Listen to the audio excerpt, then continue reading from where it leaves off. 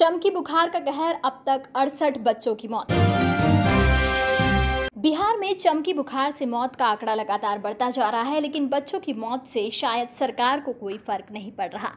Acute encephalitis syndrome, यानी कि चमकी बुखार से जान गंवाने वाले बच्चों की संख्या बढ़कर अड़सठ हो गई है। बच्चों की मौत का ये आंकड़ा बढ़ता जा रहा है।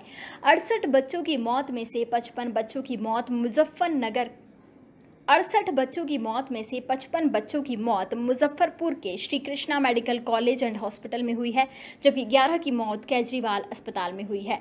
चमकी बुखार के कहर के चलते अस्पतालों में इससे पीड़ित की संख्या बढ़ती जा रही है। इस मामले पर ध्यान देते हुए मुख्यमंत्री नीतीश कुमार ने कहा कि स्वास्थ्य विभाग द्वारा इस पूरे मामले पर नज़र रखी जा रही है। बरसात से पहले ये बीमारी हर साल बिहार में कहर बरपाती है। इसकी पूरी जाँच की जा रही है। इस खतरनाक बीमारी की चपेट में पंद्रह साल की उम्र के बच्चे आ रहे हैं। इससे मरने वालों में ज़्यादातर बच्चे एक से सात साल की उम्र के बीच हैं। इस बीमारी का शिकार आमतौर पर गरीब परिवार के बच्चे होते हैं। डॉक्टरों के मुताबिक इस बीमारी का मुख्य लक्षण तेज बुखार, उल्टी दस्त, बेहोशी और शरीर के अंगों में रह रहकर कंपन होना है। हर साल इस मौसम में मुजफ्फरपुर में इस बीमारी का कहर देखने को मिलता है। पिछले साल गर्मी का कहर कम था, इस कारण इस बीमारी का भी प्रभाव कम था। इस बीमारी की जाँच के लिए दिल्ली से आई national centre for disease control की टीम और पुणे के नेशनल इंस्टीट्यूट ऑफ़ वायरोलॉजी की टीम भी मुजफ्फरपुर का दौरा कर चुकी है।